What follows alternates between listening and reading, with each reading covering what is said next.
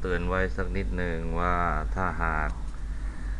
ทำขึ้นมาเล่นแล้ว ขอให้ใช้ความระมัดระวัง